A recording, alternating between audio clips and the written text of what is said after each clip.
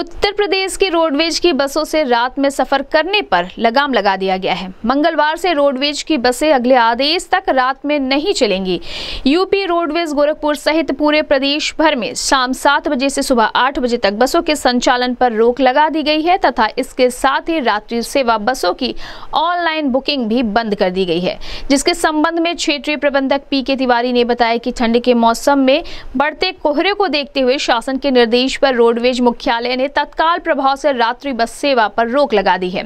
इसके साथ ही जो बसें दोपहर में या शाम सात बजे से पहले चली होंगी, उन्हें भी रास्ते में अंधेरा होने पर और बढ़ते कोहरे को देखते हुए रोक दिया जाएगा ताकि रोडवेज़ बसों से होने वाले हादसों पर पूरी तरह से अंकुश लगाया जा सके। उन्होंने कहा कि लंबी दूरी पर चलने वाले बसों के यात्रियों को सफ़र से पहले ही इस बात की जानकारी दे दी जाएगी कि रास्ते में कोहरा मिलते ही बस पेट्रोल पंप या प्लाजा पर खड़ी कर दी जाएगी ताकि यात्रियों को कोई दिक्कत ना हो। उन्होंने कहा कि मौसम को देखते हुए खराब बसों को लेकर सतर्कता बढ़ाई जा रही है, क्योंकि ठंड के कारण बसों को खराब रूट पर नहीं चलाया जाएगा।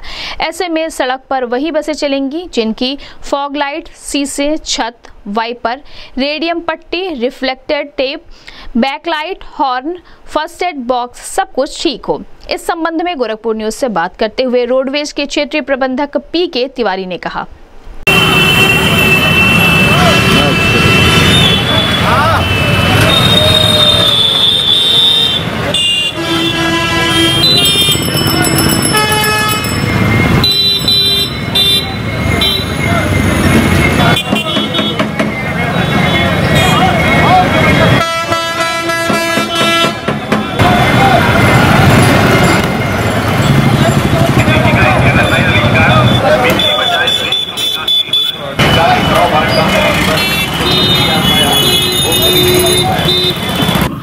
ठीक है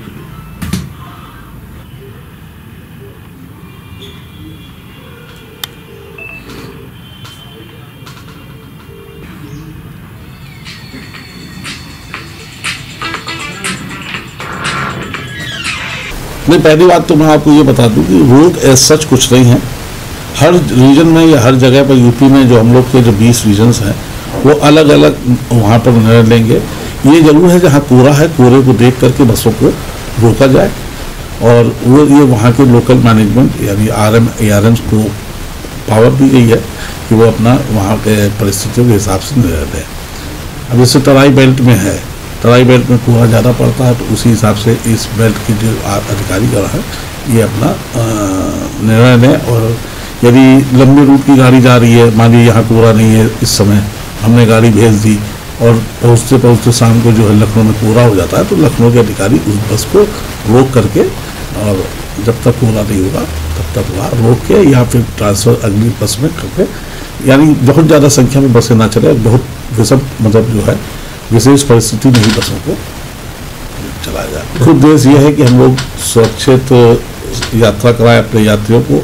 हमारा स्टाफ, हमारी, हमारे यात्री, हमारे लिए बहुत महत्वपूर्ण है।